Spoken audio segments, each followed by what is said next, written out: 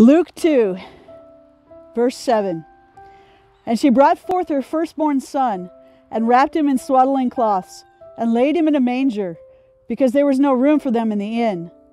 Now there were in the same country shepherds living out in their fields, keeping watch over their flock by night. And behold, an angel of the Lord stood before them, and the glory of the Lord shone around them, and they were greatly afraid.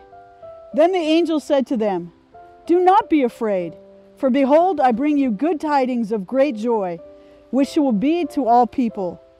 For there is born to you this day in the city of David a Savior, who is Christ the Lord. And this will be a sign to you you will find a babe wrapped in swaddling cloths, lying in a manger. The babe in the manger gave his life as a ransom for many. He humbled himself to join in our sorrow. Jesus didn't come to our world for his own enjoyment. He was love, lying in a manger.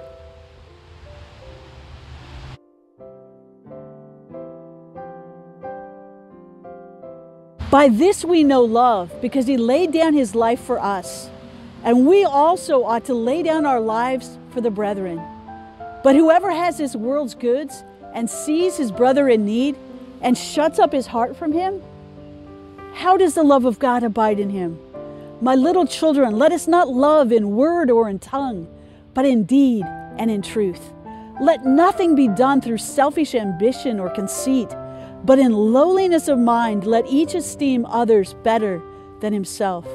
Let each of you look not only for his own interests, but also for the interests of others. The love of God is not selfish, it does not claim its rights.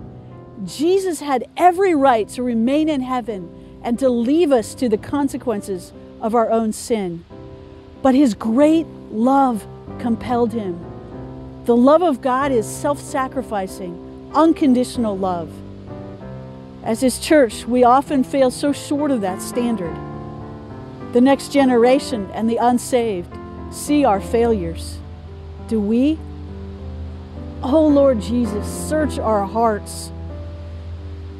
May your church turn away from our passion for preserving our own privilege May we magnify Jesus as our first priority.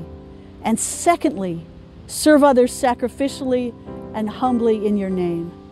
Change us, O God, that we may live like Jesus.